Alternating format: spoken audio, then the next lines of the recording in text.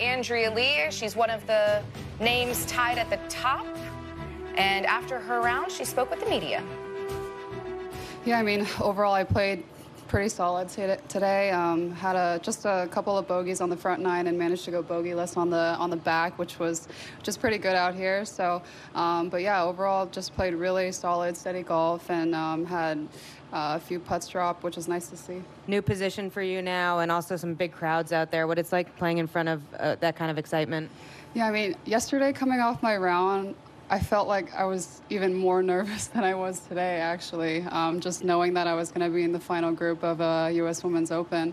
Um, but yeah, today I walked out on the tee, and you know, a lot of people were kind of saying, you know, go Andrea, and it was it was really nice to hear that and have the support from the crowd. So honestly, I had a blast out there. I'm just steadily getting a little bit better every year, and just um, finding my, you know, finding my uh, rhythm out here uh, on tour. Uh, I feel really comfortable, um, especially this season. I feel like this is the most comfortable I've felt out here and the most fun that I've had since turning professional. Um, so I'm just trying to keep it as light as possible and just have a good mindset going into every single tournament. And I think that's panned out really well for me so far no matter the result tomorrow, with your history with USGA championships, how cool is this moment just to be here, have people outside the ropes screaming for you, and, and just be in this uh, this environment this week? Yeah, it's an incredible feeling. You know, it's something that I've always dreamed of. Um, you know, vying for major championship wins.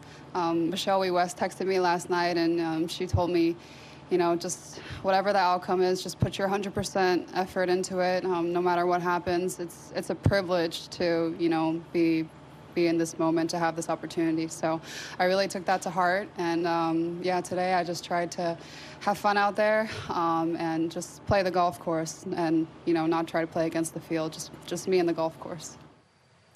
Nice of Michelle Wie West reaching out to her fellow Stanford Cardinal Andrea Lee, offering her well wishes and good luck. I know that meant a lot to Andrea. Now she's making her sixth start at the U.S. Women's Open, so she's not new to any of these big moments. She also played in the Solheim Cup in 2023. Mel, uh, what, what do you take away from the performance that you saw from her today?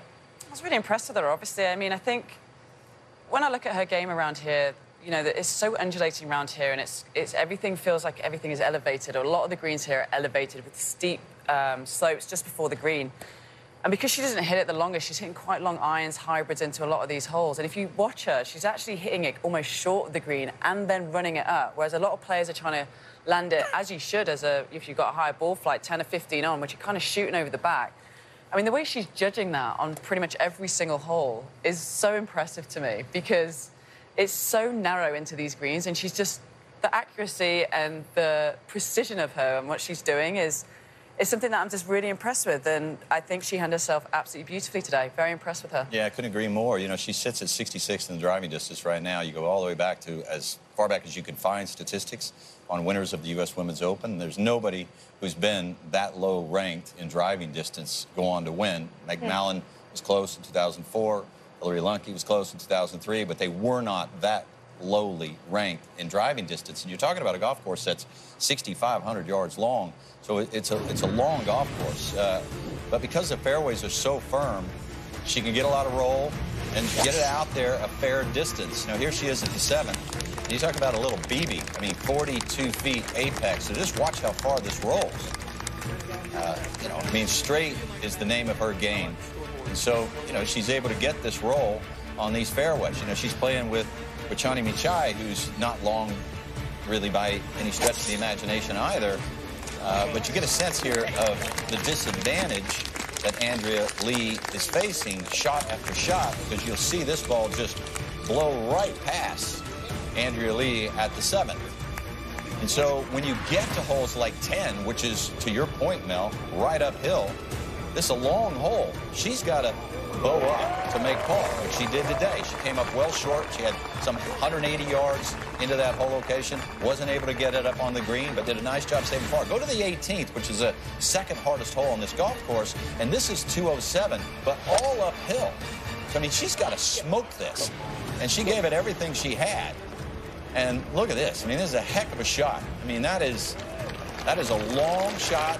Gave it everything she had, managed to get it onto the green, and so she took care of business at the 10th. She took care of business at the 18th. So Uh, that was, you're, you're absolutely right. She's squeezing every single drop of juice uh, out of that game to get where she's at right now on this golf course. And Yuka Saso might be leading the field in strokes gained putting, but number two is Andrea Lee. And uh, that putting has gotten a little bit of help also from Meg Mallon and Beth Daniel. They gave her a little putting lesson at the Cognizant Founders Cup a few weeks ago. She said that it's just a little tip you know, she's making sure to use her, her big muscles, but clearly it seems like those golfing greats have uh, made their mark on Andrea Lee's game this week.